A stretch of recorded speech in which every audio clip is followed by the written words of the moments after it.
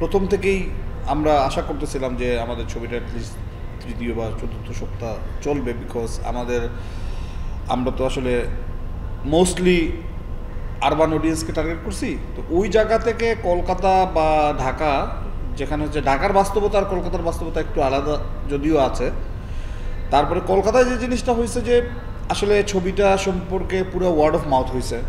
এবং এমন সব মানুষরা ছবি সম্পর্কে বিশাল বিশাল রিভিউ দিচ্ছেন, যেগুলো আমরা আসলে ওনাদেরকে চিনি না ইভেন বা এত শত শত মানুষকে তো আসলে চেনা সম্ভব না। তার মধ্যে হ্যাঁ যেমন অর্গানিক্যালি অঞ্জনদা একটা রিভিউ করলেন, যে ওই রিভিউটা ওনাকে আমরা চিনি, সবাই চিনে বা উনি নিজে থেকেই একটা রিভিউ দিয়েছেন। তো এরকম সংবাদ মাধ্যমগুলো প্রচুর রিভিউ দিছে এবং যেগুলো সবই পজিটিভ রিভিউ এবং সংবাদ মাধ্যমের বাইরে থেকে যে জিনিসটা হচ্ছে, এখন পর্যন্ত প্রতিদিন যারা ছবি দেখছেন, তারা প্রত্যেকেই কিন্তু অ্যাটলিস্ট বলতেছেন যে বাংলা ভাষায় এমন সিনেমা সচরাচর আমরা দেখি না।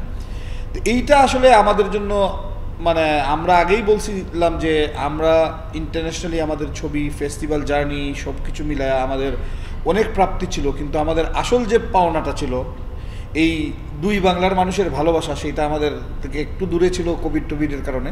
তো আমরা ওইটা এখন পেয়ে গেছি এবং মোটামুটি তৃতীয় সপ্তাহে এসে আমরা আমাদের প্রাপ্তি নিয়ে সন্তুষ্টই আছি। আমাদের প্ল্যান ছিল যে আমাদের ছবি আমাদের অডিয়েন্সের জন্য আমরা করব। যদি ফেস্টিভ্যাল বা ইন্টারন্যাশনাল জার্নি করে, ছবি করবে, না করলে নাই। আমাদের তো আসলে ফেস্টিভ্যাল টার্গেট করে ছবিটা বানানো ছিল না। আমরা লোকাল অডিয়েন্সের জন্য ছবিটা বানাইছি এবং ছবিটার গল্প বলার অভিনবত্ব এবং ভালো মেকিং বলেই ছবিটা ইন্টারন্যাশনাল জার্নি করছে। তো এখন আমাদের যেটা হচ্ছে যে আমাদের তো কলকাতায় এই সপ্তাহ এবং আগামী সপ্তাহ আমরা ছবিটা রাখছি। এই আমাদের এইখানকার আবার কিছু কিছু আমাদের দেশে কিন্তু আবার মফস্বলের দিকে কিছু কিছু জায়গা থেকে আমাদের ছবিটা নেওয়ার জন্য আগ্রহ দেখা যাচ্ছে। যেমন গত দুই সপ্তাহ পাবনাতে আমাদের ছবি আছে এবং খুব ভালো, ওখান থেকে আমরা খবর পাইছি যে ওখানে খুব ভালো যাচ্ছে। এইভাবে আমাদের তো আরও কিছুদিন হয়তো দেশের ভিতরে জার্নি করবে ছবিটা বিভিন্ন হলে এবং কলকাতায়ও করছে আরও হয়তো এক দুই সপ্তাহ থাকবে। তারপরে আমরা আসলে একটা টাইম ঠিক করব যে আমরা ইন্টারন্যাশনাল রিলিজটা কবে করব আমাদের ডিস্ট্রিবিউটরের সাথে আলাপ আলোচনা চলতেছে। হ্যাঁ না সেই ছবিটা আসলে এই মুহূর্তে আমি সেই ছবিটার নাম বলতে চাই না সেই ছবিটার আর্টিস্ট বলতে চাই না পরিচালককে সেইটাও বলতে চাই না আসলে।